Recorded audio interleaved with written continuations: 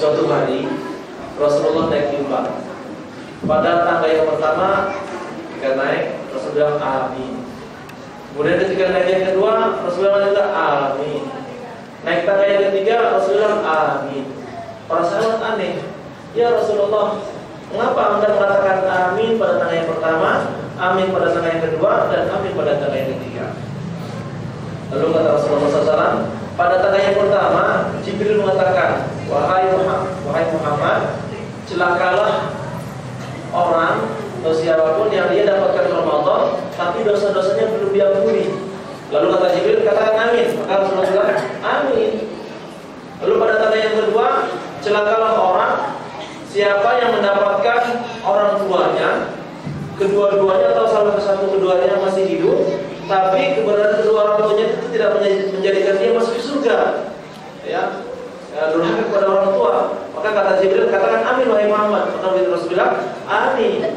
Lalu pada tanda yang ketiga, uh, Jibril mengatakan, wahai Muhammad, celakalah bagi siapapun yang ketika disebutkan namaku Muhammad SAW dia tidak menyebutkan Sallallahu Alaihi Wasallam maka katakanlah amin maka Rasulullah amin ini alasannya فشهر رمضان فرصة ذهبية يجب علينا أن نستثمرها فكم من شخص كان معنا في رمضان في رمضان السابق وهو الآن ليس معنا وكم من شخص معنا الآن ولن يكون معنا في رمضان القادم bulan Ramadan seharusnya menjadi kesempatan emas kesempatan yang sangat berharga buat kita karena berapa banyak saudara-saudara kita teman-teman kita handai tolong kita yang dahulu Ramadan dahulu itu bersama kita tapi boleh jadi tahun ini nggak bersama kita lagi atau boleh jadi yang tahun ini bersama kita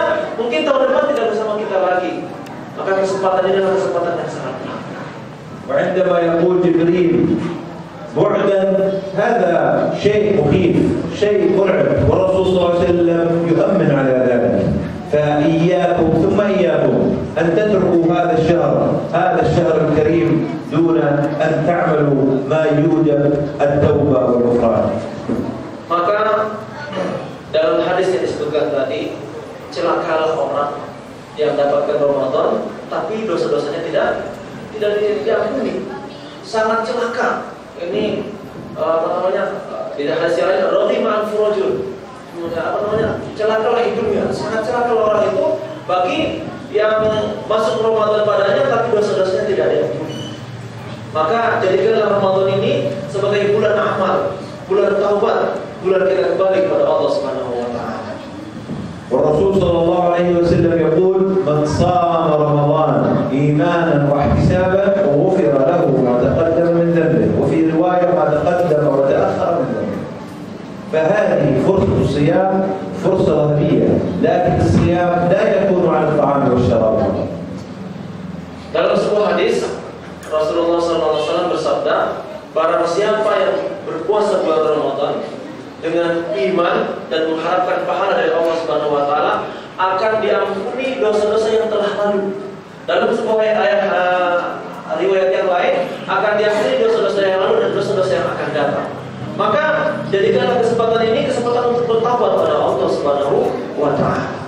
Asliya huwa siyamul jawarih صيام النفس عن المنكرات صيام التفكير بما يشوش نفس الإنسان هذا هو الصيام Kemudian yang namanya puasa, ikhwatal iman rahimakumullah, bapak-bapak dan sekalian, itu bukan hanya sekedar menahan lapar dan haus. Allah nggak butuh lapar haus kita.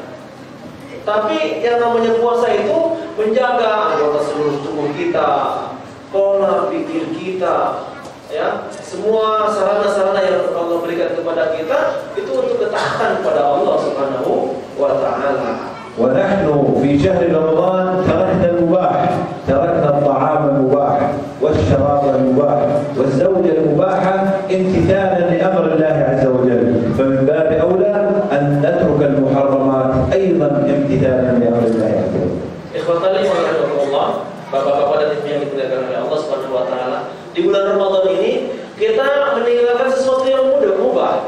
Nasi itu punya kita.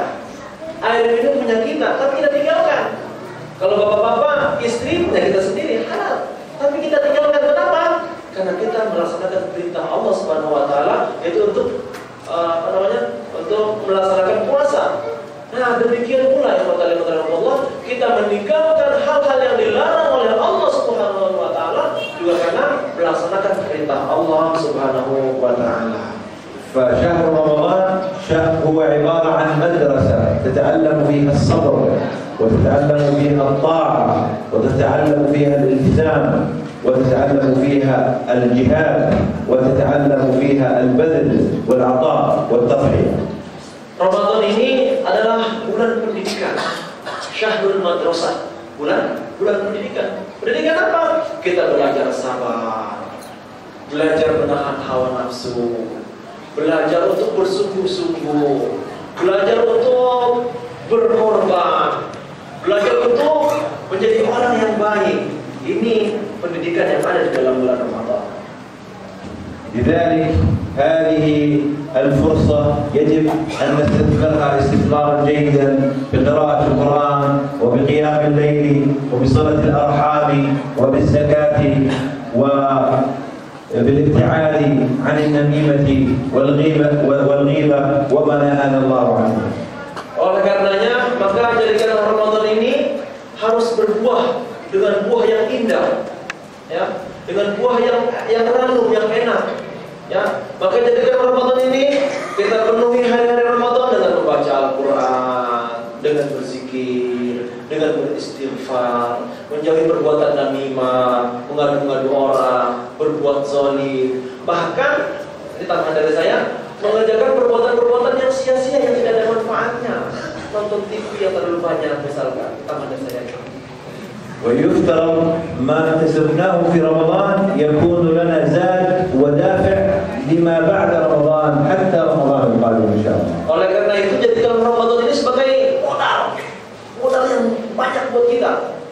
Jadi semangat Ramadan, motivasi Ramadan ini kita miliki sebanyak-banyaknya, sehingga pas setelah Ramadan itu kalau apa modalnya banyak kan enak. Insya Allah kalau futur, kalau semangatnya berkurang itu cuma sedikit. Setelah Ramadan itu harus terus, terus, terus, terus mulai terus baik. وفي شهر رمضان أيضا في هناك ساعات للدعاء مستجابة ومن أهم ساعات الدعاء المستجابة وقت الإفطار فأكثروا في هذا الوقت الدعاء لأنفسكم ولأبنائكم ولإخوانكم في مشارق الأرض وفي مغاربها Dalam bulan Ramadan ada saat-saat di mana waktu doa itu istijabah. Ya. Ada waktu-waktu ini prime time. Doanya langsung diterima oleh Allah Subhanahu wa taala. Kapan itu? Ketika kita diantaranya ketika kita sedang berbuka puasa. Maka perbanyaklah doa untuk kebaikan kita. Doakanlah saudara-saudara kita dari belahan bumi timur sampai belahan bumi barat. وأخيرا تذكروا أن في العشر الأواخر يوجد ليلة هي ليلة القدر خير من ألف شهر هذه الليلة تحروها ولا تضيعوها ففيها الخير الكثير ومن حرم خيرها